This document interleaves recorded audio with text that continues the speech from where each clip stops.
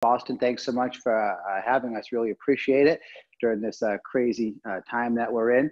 But we're hoping that you find these programs informative and exciting. So um, if you're watching live, you can unmute and ask questions, or you can type questions in, and Chris will uh, uh, shout them over to me, and I'll answer them here live. If you are watching this program after it's been recorded, then uh, feel free to just email questions, and Chris will compile the questions, and then myself and the staff will go through them all together and we'll answer all your questions. It might take us, you know, a day to get them all answered, but we'll absolutely get it done for you.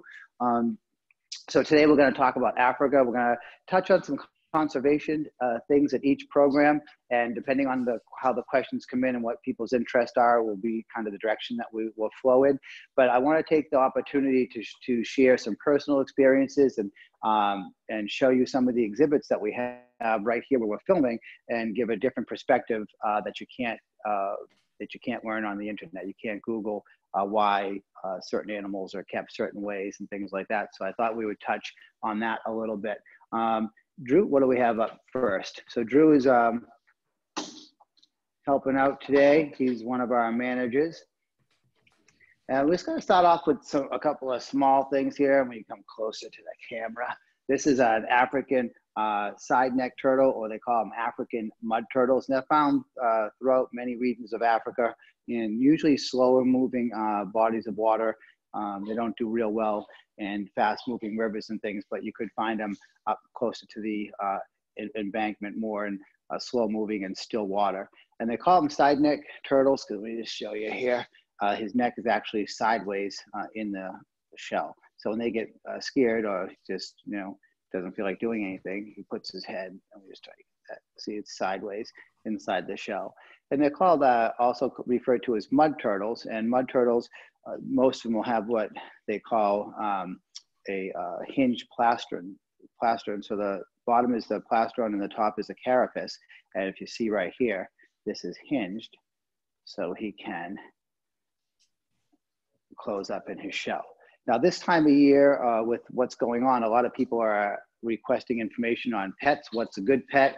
What's easy to care for? This is a pretty easy uh, turtle to care for and pretty interesting because it has a side neck. So when they're out and they're swimming around, the, the neck goes sideways to catch fish and things like that. Uh, fairly low maintenance.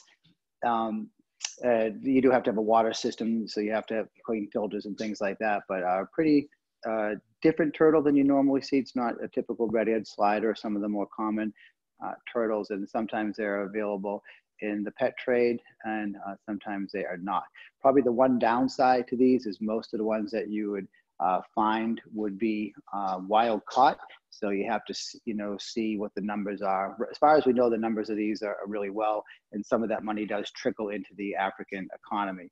We are going to get into that a little bit today and see if people are interested in that. That's a subject I know uh, quite a bit about because I have, um, you know, many friends in all different parts of Africa that I'm pretty close with. So I get some pretty good information. But we're gonna put this little guy back. So that is a, mostly a water turtle. And then Drew, can we get a bigger turtle? or tortoise. Now, there's a lot of debate. I've seen people get into full blown arguments over that's a turtle, no, that's a tortoise. Scientifically, if you're taking biology, zoology classes, and you get this question, which I had many years ago, you know. And the way it was put to me is I think I had like 45 minutes and as many pages as I needed to explain all the scientific differences between turtles and tortoises. So that the teacher of that class had a great sense of humor, and that was a trick question um, because, which I actually got right. Um, and I think that class was a very small class, a specialty class that I used to take 21 people. And I think I was the only one that got that right. Um, so uh, there scientifically all shelled reptiles are classified as turtles, right? So the correct answer would be all shelled reptiles are classified as turtles. In different parts of the world, they refer to them as tortoises, turtles, terrapins, and they have several other different names. Here in North America, the way we do it is if it lives on the land and has a back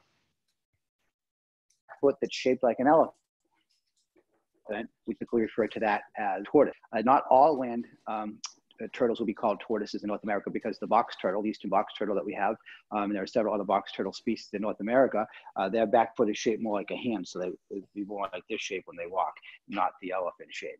And then in different parts of the world, they, um, South and Central America, sometimes they'll use one particular word for all turtles and tortoises. And I have friends in Australia that sometimes call sea turtles tortoises. So it's, you know, but the correct answer is all shelled reptiles should be cl- are classified as turtles.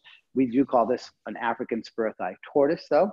Um, just to confuse everybody. And these guys are, are, live in the African savannas. It's a it's a nice uh, uh, turtle or tortoise. They can grow. This is a smaller female, and this one here was actually born in 1997, Anna, and she can still grow bigger. Right now, she's about 35 pounds. They can grow up to be about 60 pounds if they're girls, and about 20 inches long.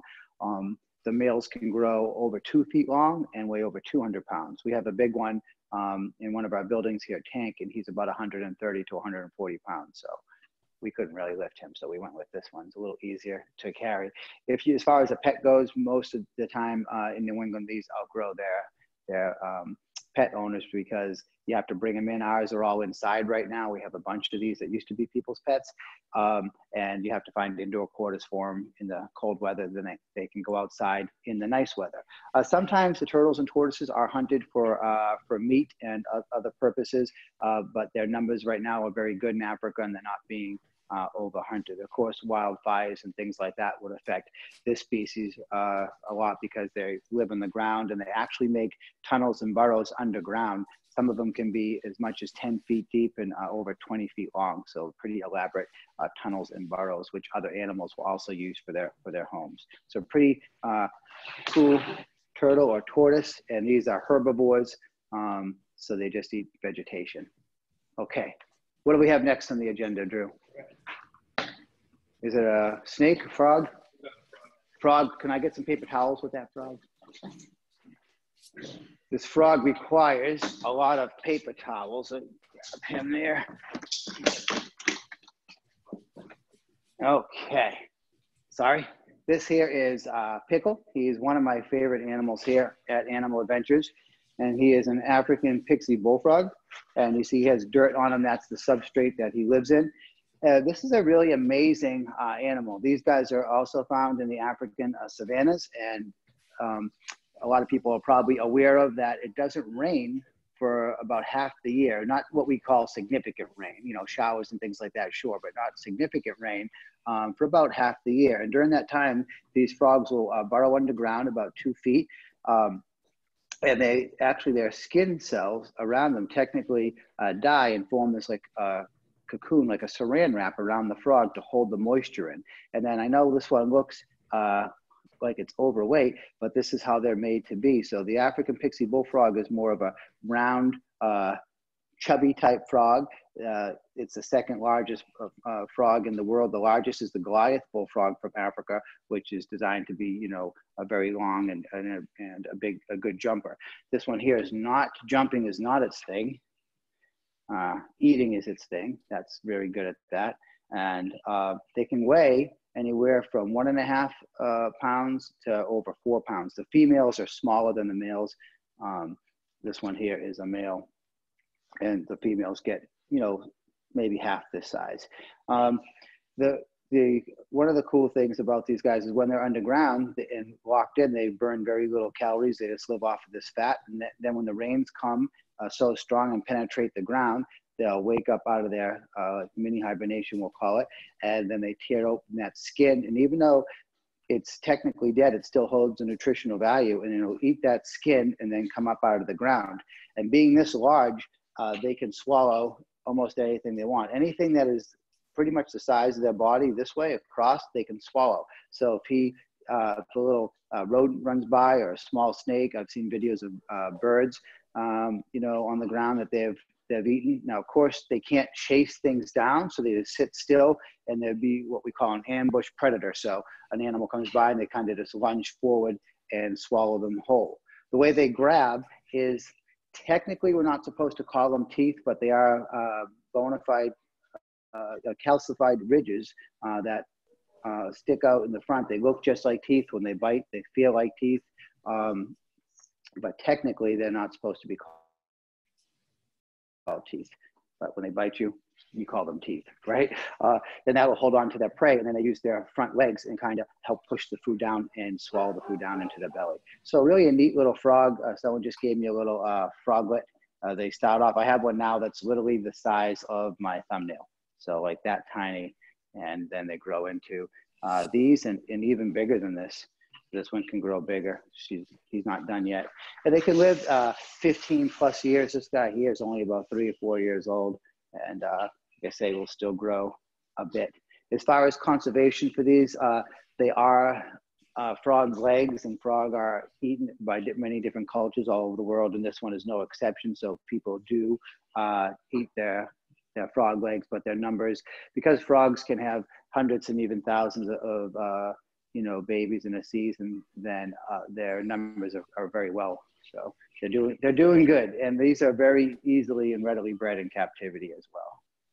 So everybody needs at least one of these, right? All right. Put him back. What do we have next? Send you a little snake next. This snake is interesting because it's in a shed, so I'll be able to show people what it looks like when it's uh, shedding. And then um, this snake is in a, what we call a little bit of a dry shed, and um, and we'll be able to show you and tell you what we're going to do with that. So this is a, a, ball python. Usually they're darker. This one, there's so many, if you uh, follow snakes at all, ball pythons are one of the hot snakes that people, not hot as in venomous, hot as in very popular snakes that people breed, all different uh, colors and morphs and uh, ball pythons have sold. Uh, I personally know people that have paid uh, $50,000 for a ball python. Um, you know, seems crazy, but I guess if that's what you're into, right? Uh, the ball pythons typically are darker and uh, they're also found in the African savannas and have a, a, wider range than that. They're not big on tree climbing, though they can climb trees. Um, and also, uh, they'll spend a lot of time on the ground and under the ground. So these guys will go underneath the ground into little holes and burrows. Now, snakes stick out their tongue to smell. They have uh, no eyelids. So you see how his skin is wrinkly? He's going into a shed. And after this program is over, this one will go into a, a box with warm water and it'll help him crawl out of this shed because this is what we call kind of a dry shed. A very healthy snake. You can see how fast the tongue is flicking out. Um, one neat thing that was uh, studied with ball pythons in relevance to, uh, in relation to elephants, is that ball pythons would be on the ground, and there's a study done. I'm really bad with time. It was probably 20 years ago, and what they noticed is when elephant herds were moving, ball pythons uh, would take their chin and they'd press their chin on the ground, feeling the vibration from the ground, and then um, even though snakes are not considered intelligent, there are records of ball pythons uh, pressing their chin to the ground and then actually going into holes and, and burrows and stuff, which would prevent them from getting uh, stepped on. They're usually pretty docile snakes that only grow, um, you know, six feet would be considered very big for a ball python. Typically, they stay around three or four feet. Um, you know, the biggest one I've ever seen, I think, was probably five feet. But most people say they can grow up to six feet. I just haven't seen that. So pretty, pretty cool uh, little snake. They are hunted for meat. Uh, skin uh, to a lesser, lesser degree. Not too many people um, use smaller snakes when it comes to uh, leather products and stuff. They go for big snakes, you know, like pythons and things. So get a good view of that. There you go. Pretty neat snake. All right, we should go to something furry, huh? What do we have next, Drew? Sure, we have a leash and everything. I get some marshmallows. So Next, we're going to do an African bush baby, and uh, we're going to do two primates today, both considered uh, prosimians or lesser primates. Um,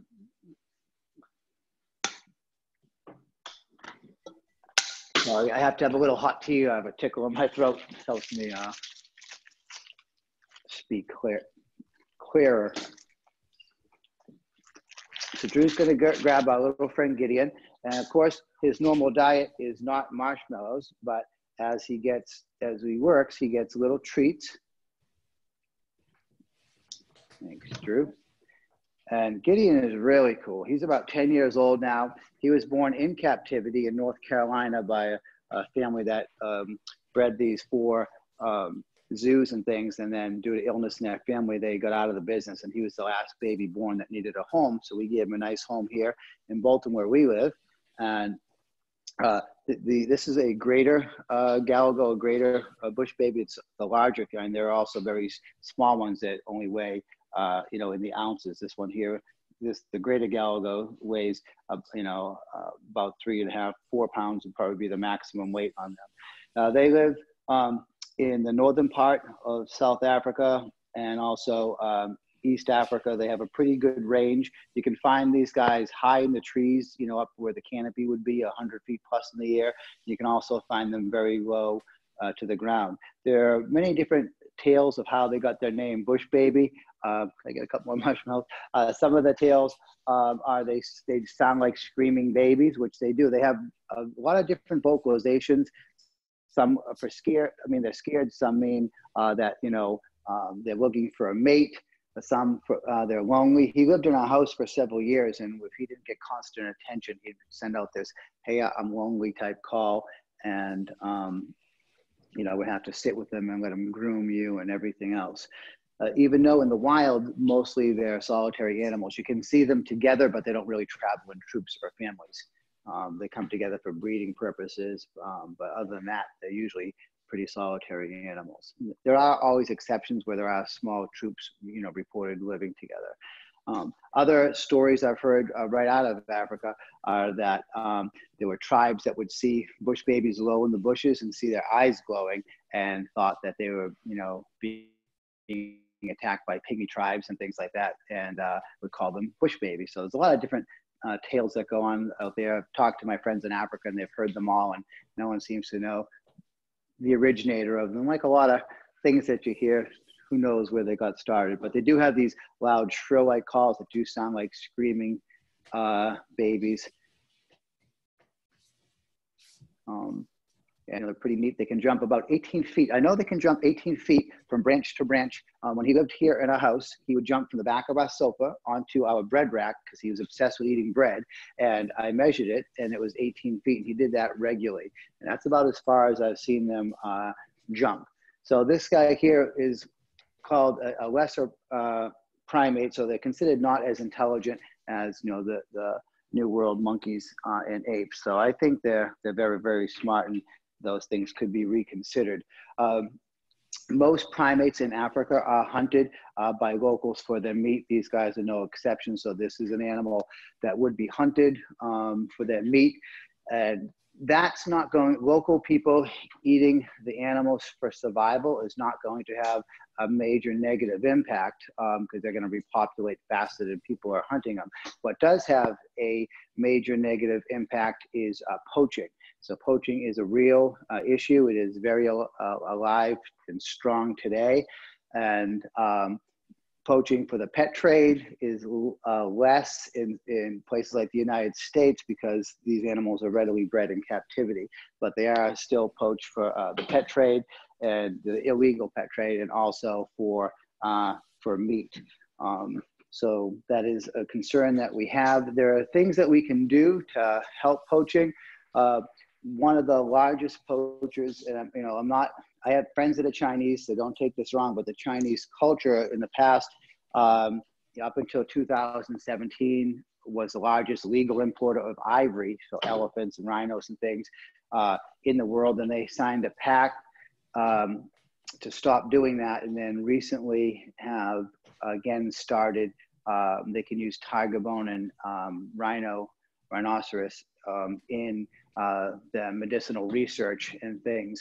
And they're supposed to be farming them and using them, but um, people that I know in the conservation field say there's no way to tell what is what animals they're killing are actually born on the farm like they're supposed to and which ones are coming in illegally. So it's really hard to track. Um, and probably um, just talking to medical doctors around the world, there is nothing in a rhino horn or tiger bone that is magical that is going to heal anything. So um, there's just a lot of money behind that industry.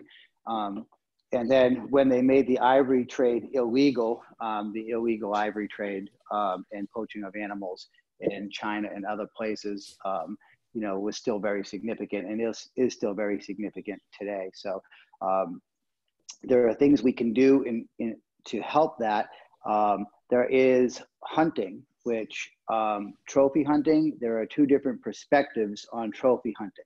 Um, and one is that trophy hunting uh, is good because it brings money into the economy. And when you trophy hunt in Africa, you the people that run these organized hunts, they own the they own the land, so they can keep uh, poachers and stuff off and then only let people hunt so many elephants or uh, right now lions are a big thing and the lion numbers actually are lower than the elephant numbers uh, in africa which a lot of people aren't really aware of but that that's actually true. And so when people trophy hunt they're the trophy hunters the people that organize that they're the way they defend it and what they say is great is that um, they own the land and they keep poachers off the land and then they repopulate and they keep the numbers up that way. Uh, the opponents to that say that um, you know from an ec- economic standpoint that money doesn't really trickle down to the to the right people that you know billions of dollars do come in but the um, african government is so corrupt that comes in and takes um, all the money from the people that actually uh, need it I work with a group um, in Africa that is from the United States that d- does uh, microloans, and I'm really a big fan of this. And I won't spend too much time, but I know people are interested in uh, the economy and conservation over. So I just want to touch on it. And in future programs, if you want to hear less about this, I'll, I'll talk less about it. But what, what happens is the average um, interest in Africa to get a loan is about 30%. So um, I work with a company um, out of Colorado that uh, has people in Africa, and I have friends in Africa, in um, South Africa, Zimbabwe, Mozambique, many different parts of Africa.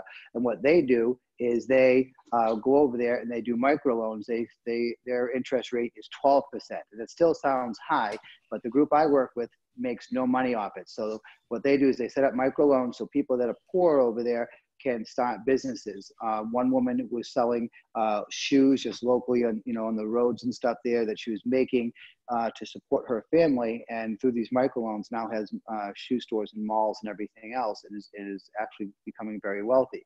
So these microloans at 12%, the people can afford to get the loan, and then that 12% goes to pay the people from the United States that stay and train people in Africa to stay there and help people understand the loan and start a business and support the business. The people that I know that do those in the United States are already multimillionaires and make zero money from it. It's just something they do as a service to help people in Africa. So I think microloans for my own self is easier to manage the money. Um, and, um, you know, I'm not a fan of, uh, trophy hunting and my own research. And again, I'm trying to keep an open mind to it because I, it's, when you're doing research, the hardest thing is to take your emotions out of the picture. And I'm, um, the thought of killing an elephant or a lion or something like that sickens me. Um, so I have to try to separate my emotions to facts. So I've read many articles as early as this morning, even reading a new article that was published. Um, you know, so uh, there are a lot of people that are for trophy hunting. When I read the facts to take my emotions out of it, I still think it's, uh, you know, it that eventually in the near future it should be a thing of the past. I know places like Zimbabwe. I have friends there, and they say the trophy hunting brings in, you know, sometimes 90% of their income, but they are seeing the government officials just take a, a large percentage of that, and it's not really trickling down to the people where it needs to go. So I think microloans and other things to empower the people to make their own money um, that doesn't go through the government is probably a better a better uh, solution. But again, I'm trying to keep an open mind uh, keep myself learning. So as you can tell, uh, hairstylists are not essential. Um, so they're not essential. So I kind of get this for the monkeys to grow on, uh, climb on. Okay, we'll try to get him over to Drew. There you go. And we'll get that leash and we'll do uh, Tarzan next, Drew. So now we'll see a cousin to the uh, bush baby, another lesser primate. There are tarsiers, there are bush babies, there are uh, lorises, also uh, slow lorises uh, that are all considered pro, uh, prosimians or lesser primates. Given the subfamilies uh, that go from there. And again, marshmallows are a low calorie, um, treat that they get. They eat very healthy food, vegetables, and these special monkey biscuits and all that. And then when they work, um, they get uh, this is their job. They get some treats. Come on, come on, buddy. Yeah. Here you go. And what we try to do is train them to do things they do naturally. Climb. Um, this guy likes to do what we call roping, where you put a marshmallow up top and then he pulls it all the way down. Can I have that, please? Hey, there's no more marshmallows. He's obsessed with this one training device. go ahead. So let me see if I can get him to let go of the leash and let's do a, a jump for the people. Ready? We'll have him jump. Swim. Oh, you slipped, huh? So these guys, the lemurs are not found in mainland Africa, as most people know. Um, they're found in Madagascar. There are over 20 different species of lemur. This is a ring-tailed lemur. They can live over 20 years. Unlike the uh, bush baby, they do live in troops of about 25. And if you've seen the old movies, uh, they're getting old now, Madagascar movies, where you had King Julien, uh, that is not correct. Uh, lemurs, um, they, uh, there's no king lemurs, only queens. Come on, come on, I got you. Come on. I know you slipped once and now you're nervous. And so the males are lower in the hierarchy. The women are the ones that go into battle and, and make all the rules. And typically each troop is about uh, 25 and they do like a large uh, territory of about 50 plus acres. And they will fight over territorial battles and uh, sometimes male lemurs will battle sometimes, usually over uh, females. So that's fairly common. And you can see he likes the little marshmallow.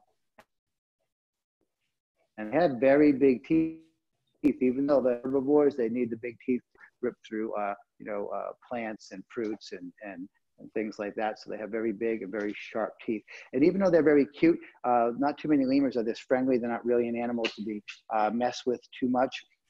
Madagascar, as far as their um, conservation has come a long way over the last few years. They have a lot of uh, items that they're exporting and things like that, and things are going uh, better. With any society, though, as people try to grow, there has to be a proper balance of, you know, uh, habit, you know, saving the habitat and seeing what habitats can be used for farming and growth of product and things like that. So there always has to be checks and balances uh, put in to make sure that the animals' numbers stay strong and survive. All lemurs are listed on the Endangered Act. One of the big reasons is because they are limited to the island of Madagascar. Okay, ready, buddy? Come on, come on, you can do it. You wanna go see Drew? You like Drew. Now my hands are all sticky. Okay, we need to spray some. Do the monitor next, Drew. All right, we're going to do a African uh, savanna monitor. I'm going to give you a few neat, fun facts uh, about these guys. And if anyone has any questions, feel free to ask them uh, verbally or type them in. And I'm hoping the students that watch this later on uh, will be active in asking some questions. Uh, I love answering questions. It's a great way for us all to learn. Uh, I learn a lot by answering questions. Um, sometimes uh, people come back uh, back and forth with questions and answers, and you learn things that you know you just learn things. So it's a great way for us all to learn and interact and try to come up with uh, some solutions.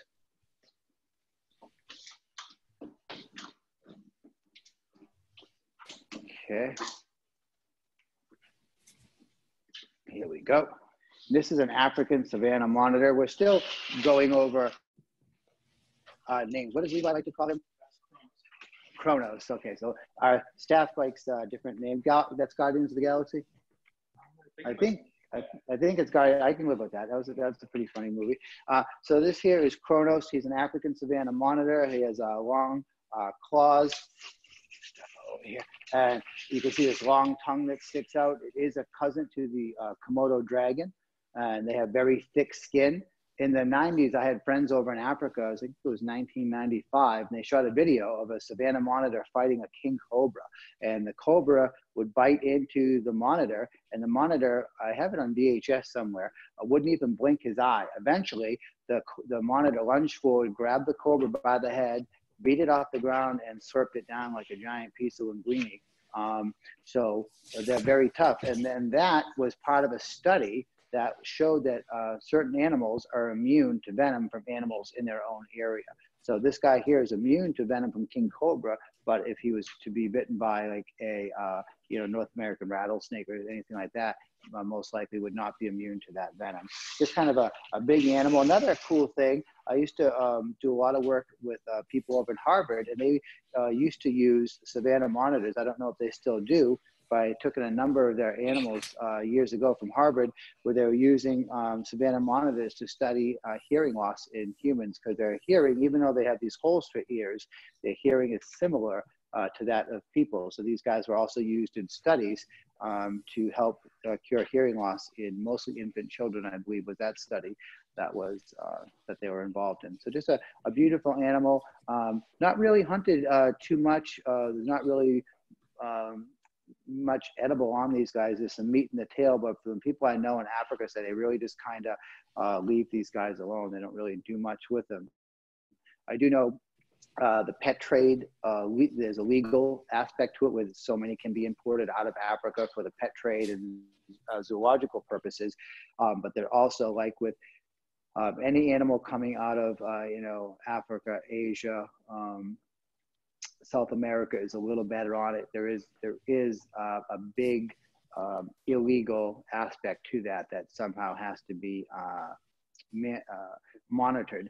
The other thing that they do with this lizard here is they do what's called captive hatch, where people in Africa uh, get paid by people in other, you know, America and other countries to collect the eggs out of the wild, and then they hatch them in what they call captivity, and then they sell the the the babies. That's that's very popular they sell the babies to um, you know people in United States and other countries where they sell them to the pet trade. So one way that people in Africa are making some money is by collecting the monitor eggs, or actually also having the monitors in large pits and things out there um, where they breed and um, then you know they uh, hatch them out and uh, sell the babies to wholesalers in the pet trade, and um, you know that's that can be uh, that can be a fine. It's it's it's not. I don't think it's a terrible uh, way to give people money in their pocket and to have people be have access to this beautiful animal so we can learn about it. But again, anything any program like that has to be monitored on a secondary level to make sure the numbers in the wild are, are sustainable. And so far, um, the monitor lizards are, you know, the numbers are, are very, very good. So, but it is something that always has to be uh, watched carefully. Okay, ready? There you go. Just spray that table. Get some that little poop there off there. We tell them to bathe before these presentations, but you know, sometimes they're still a little poopy. Okay. All right, what do we have next, Drew? Yeah, let's talk about some foxes. Let's do that. The foxes are really beautiful. Um, Drew will bring them out if you want. We have a big fox exhibit um, over here. It's beautiful. I don't know if you want to. It's. It's really nice. We have three foxes in here. I'll give you a little bit of uh, history. So Chris is going to walk over so you can see. Um, there's Drew. That's Drew's good side. and then uh, you see uh, Storm over there on her bed. And then you have Loki right here, her husband. Um, and then you have um, Timon, known as the third wheel. So um, he was the wingman, kind of got these two together, you know. Um, so this here is Loki, and uh, Loki's an African pale fox. Uh, his uh, uh, wife, Storm, is probably the first or one of the first pale foxes ever to be born in captivity. The pale fox came into captivity accidentally. Um, so um, I think Storm was almost seven. So about you know eight years ago, so there was a group of people that had permits to um, go and collect uh, fennec foxes in the wild. And um, what what happened is they got they went through customs all the way from Africa all the way into the United States. And when they got back to the research facility, they realized that some of the foxes did not look the same. Then they realized that they had some pale foxes that were mixed in with the fennec foxes. Now the pale fox, which I'm holding, actually lives more in the savannas, and then the fennec fox, which is in the exhibit, which hopefully we'll see depending on his mood, actually live in the African uh, Sahara Desert. But there is a map. Chris, could you just show the map here? To be easy to explain. This map here is of the fennec fox, and then right here is of the pale fox. And you can see in the southern area here, in the northern area here, uh, their habitat overlays. So what happens is this is where this is the region that they were in here where they were collecting the the foxes. So they accidentally got a bunch of these pale foxes, and then uh, they the pale fox was not permitted to for their uh, behavioral studies. So they had permits. They got permits to breed them in captivity so we could study their behavior or a secondary grant in captivity um, because this is at the time probably the least one of, definitely one of the least studied foxes in the world. And uh, we were asked to take uh, um, uh, wife Storm who's in, in there um, to take her in and to study them in captivity and learn a lot about them. And uh, for me it's an amazing animal. They're friendly they're smart. Uh, we've had them litter trained. They're not right now because they're all living together, but when they're living in my house, they're litter trained. Uh, they hide things and remember where they put them. And just as far as being friendly and just awesome, um, yeah, they're they're really incredible little foxes. You can see this guy here won't even be one till June, and look at how he's sitting and just behaving. Um, uh, we've all been nipped by him a few times, but nothing terrible really. And obviously, anything can bite. The that's the upside. The downside is over the last few years, a few importers, um, you know, have just have gotten permits to import these in large numbers now into the United States and Europe and other countries where they're starting to flood the, the pet market. And I think that is bad. Um, it's not really, from what I can tell from people I talk to in Africa, there's no significant money going into the pockets of the people over there. It's more the people over here that have other means to make money that are making all the money. And whenever you start flooding the pet trade with a certain animal, um, typically you find the numbers decline at such an, a fast rate that um, it catches people off guard. Um, at least that's how it's portrayed and you can find the species in trouble. So I am opposed at this time to importing these out of the wild. Uh, small numbers, maybe, um, you know, so they can have babies born in captivity as he was, so people can learn about the animal. And then I find having people uh, pet the animal when it's possible again and, and just get up close does uh, help uh, the awareness to conservation, help people get more involved. So we have to be careful with conservation. We live here in the United States. I, I know we're in a tough time right now, but this is still better than a lot, large part of the world lives every day. So we have to be careful that we don't, you know, try to uh, stop all their means of, of making money. Uh, uh, but at the same time, you know, animals being imported literally by the tens of thousands for the pet trade. These animals come in, they're a little bit older because of the laws. People uh, have, you know, are buying the three, four, five, six months old. They're not really uh, very tame uh, the way this one would be. And even though they're beautiful, kind animals, um, I think, you know, getting them imported out of the wild in mass quantities and trying to make pets out of them uh, is a mistake. I think animals that are pets in captivity in the day and age that we live in should be, in fact, born in captivity if, if possible. Um, and it's certainly possible with this species. Okay, something happened to the TV up there, Chris. Oh, okay, so this is a Loki, a little African pale fox. You can see the ears aren't too big and they do not have um, fur, too much fur really on the bottom of the feet because where they live in the savannas, it's not as hot as the Sahara Desert. So we're gonna see uh, if Timon will let me pick him up. Sometimes he's very cranky during the day, but let me see if I can get him. Okay.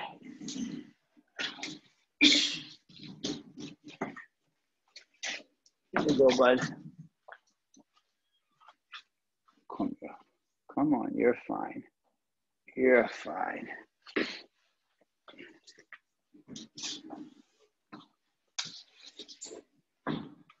This is Timon. He is a fennec fox and he's from the African Sahara Desert. And you can see a few features right away, larger ears. They actually have the largest uh, ear to head ratio of any fox even larger.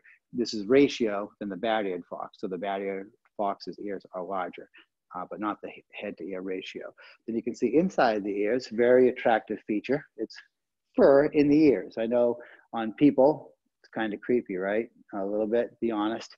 Um, but on the fennec fox, where they live in the desert and there are sandstorms, what happens when the sandstorms kick up? They fold their ears flat like that. The fur is designed to keep the sand from blowing into their ear canal. Then they take their bushy tail and they wrap it around their face and huddle down uh, for protection. You also notice the amount of fur on the bottom of the feet. And that will work uh, at least two, two different ways. One is to keep their feet from getting burned.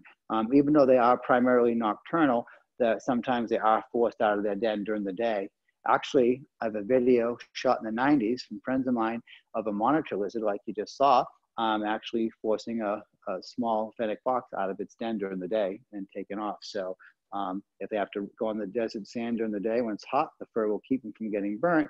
But other than that, it also helps them um, grip onto the sand. If you ever tried to, if you ever ran on bare feet on a hard surface, uh, grass or whatever, you run at one speed. And then if you run in soft sand in bare feet, you're actually, your time is much slower um, because you're sinking into the sand, you don't grip as well.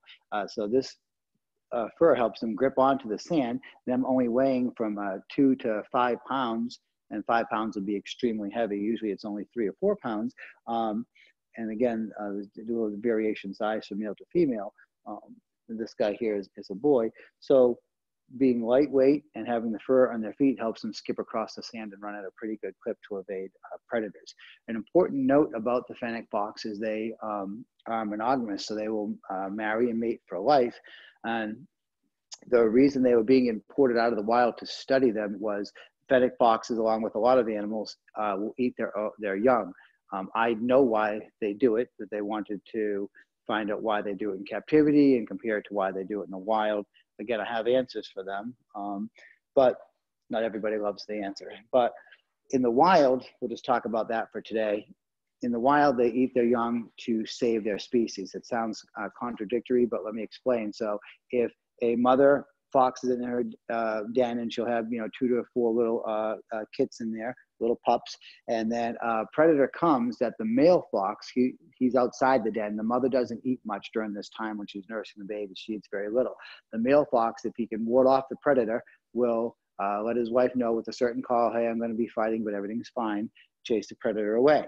If he cannot defeat the predator and he sees a larger animal coming that, you know, maybe a big sand cat or something that is a pretty tough uh, uh, animal, then he will call to his wife and that that call will be um, essentially, if possible, eat the children and let's get out of here. So she's hungry. She's not eating much. If her children are small enough, she'll consume some of her children.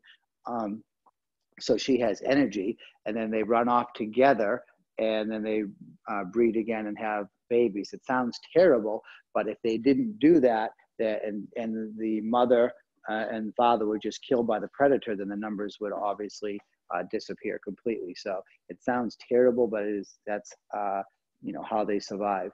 Um, in captivity, I have a theory. It's not popular, but I want to share it with you because I'm sure you're all smart people out there. In captivity is if you're going to work with an animal for programs, uh, is very good to work with at a very young age. So what happens is um, a lot of times the babies are taken from the mother very young, so educators and stuff like myself can work with them from a young age and um, and bond with them and get them friendly. We typically, our, our company typically takes the ones that um, did not bond with the mother and the mother was not uh, feeding. Um, a theory that I have that I work with another group, um, I can't mention the name because I said I can't. Um, our studies kind of point towards the fact that if you, for generation after generation, if you take babies from a mother as soon as she gives birth, that um, they, after so many generations, they kind of don't know how to be mothers. So if you have, say, five or six generations and of mothers that give birth, and the second they birth, the babies are taken from them, right? And then, you know, you try, you know, several generations later, you try to leave the babies and have the mother nurse them. The mother, it, they seem to have been bred out of them how to uh, be just naturally be a mother. And it doesn't hold true with everyone, but it does seem to have uh, there does seem to be some truth to that. So that's something that we're looking into to try to come up with a good way that educators can work with baby animals and bond for education. And at the same time, the mothers know how to be mothers. So I have some simple solutions to just trying to get trying to get someone to listen to me. It's just not easy, you know. Um, so this is Timon. He's behaving very well because he's very sleepy. He was very vocal late last night. Oh, okay. Let you go back to bed. There you go, buddy. Right for the toy. We'll have to belly scratch him later. That's really what he wants. All right, so let's do uh, one more. If everybody can hold on for one more. We're gonna go into here, into our Africa, African serval exhibit. He also has an outside exhibit. We just have him inside right now, uh, so he'd be here for filming purposes. And then we'll let him out. Put that lock there so don't lose it. Hey, Laz. So this room that we're in at used to be my bedroom, and Laz used to sleep in here and right in. So the African servals are very uh, vocal animals. They're also found the African savannas. This one uses his litter box and it was cleaned uh, not too long ago and it's already full of pee, so we'll clean it again. Um, this is his uh, sofa. He likes the sofa. He likes his blankets up here. Sometimes he knocks them on the ground.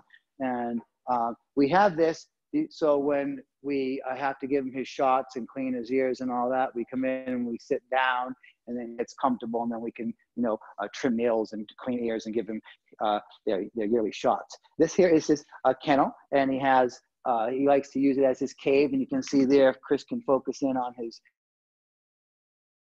uh, breakfast, uh, fresh raw chicken. Then you can see his bowl here, he has uh, some oats and oil. So we use uh, rolled oats and oil and raw chicken is most of his diet.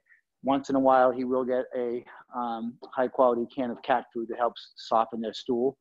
And I don't know if you can see uh, Eugene over there, our emu uh, friend in the background. So his exhibit's out back.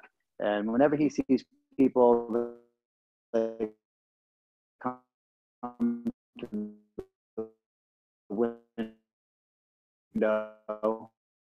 because we um, the African serval in here, uh, Laz. He's a lot of cats, a lot of animals like to have you know private little areas that they go in, and um, you know we don't travel him to the vet. The vet, veterinarian actually comes here because he doesn't like to travel.